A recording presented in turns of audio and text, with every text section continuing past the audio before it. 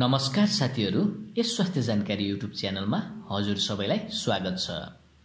आज हामी हजुरहरूलाई सलगमले दम मधुमेह र प्रोस्टेटको जोखिम जरेदेखि निको पार्छ भन्ने विषयमा जानकारी दिन गइरहेका छौँ।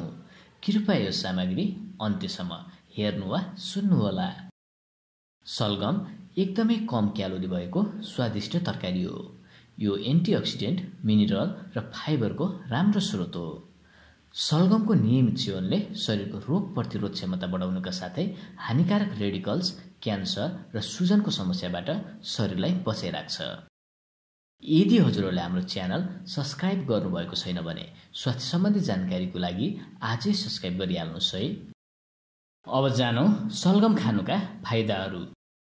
नम्बर एक दम खोकीमा राहत मिल्छ। सलगमलाई पानीमा उमालेर सो पानी सेलाएपछि छानेर त्यसमा चिनी मिसाएर पिउने गर्दा दम खोकी र घाँटी बस्ने समस्या ठिक हुन्छ। नम्बर दुई मधुमेह नियन्त्रण गर्छ। मधुमेहको समस्या भएका व्यक्तिको लागि सलगम रामबान हो। यस्ता व्यक्तिले सलगमको तरकारी खाने गर्दा निकै फाइदा गर्छ। नम्बर तिन पिसाब रोकी रोकी आउने समस्या अर्थात् प्रोस्टेटको समाधान गर्छ। जुनसुकै उमेर समूहका व्यक्तिमा पिसाब फेर्दा पिसाब रुकी रुकी आउने समस्या देखिन्छ।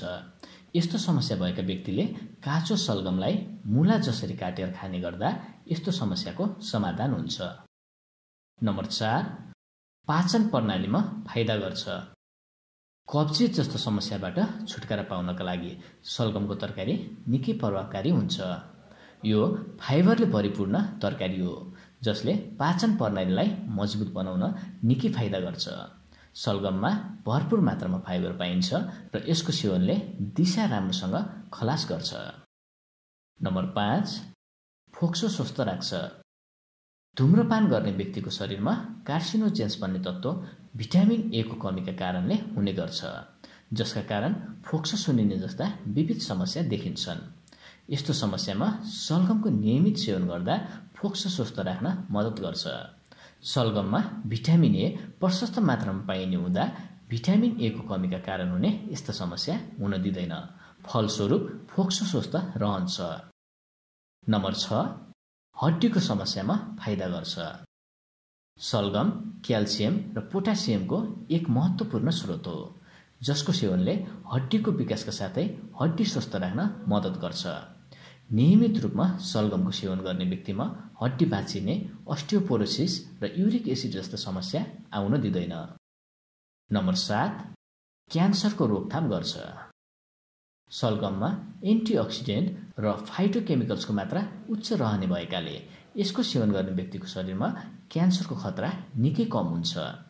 सलगममा ग्लुकोसाइनोलेट्स भन्ने तत्त्व पाइने भएकाले शरीरमा क्यान्सरको प्रभाव कम गर्न मद्दत पुग्छ। यदि हजुरहरूले आफ्नो दैनिक आहारमा सलगमको सेवन गर्ने हो भने स्तन क्यान्सर मलाशयमा हुने क्यान्सरका साथै शरीरको कुनै पनि भागमा हुने ट्युमरको सम्भावना समेत कम गर्छ। नम्बर आठ तौल घटाउन मद्दत गर्छ। सलगमको तरकारी पोषक तत्त्वले भरिपूर्ण हुन्छ। यसमा भिटामिन ए र भिटामिन सी पाइन्छन्। यसको पात सलादका रूपमा पनि खाने गरिन्छ जसमा निकै कम क्यालोरी हुन्छ। सलगमको पातको सलाद खाने गर्दा शरीरको तौल घटाउन सहयोग पुग्छ। तौल घटाउन चाहनेहरूका लागि यो निकै उपयोगी हुन्छ।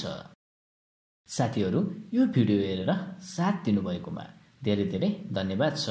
यो भिडियोलाई आफ्ना साथीभाइ तथा आफन्तहरूलाई सेयर भने अवश्य गर्नुहोला ताकि उहाँहरूलाई पनि यो जानकारीका बारेमा थाहा हुन सकोस्। यदि हजुरहरूलाई यो सामग्री मन परेको भए सब्सक्राइब सेयर लाइक र कमेन्ट अवश्य गर्नुहोस्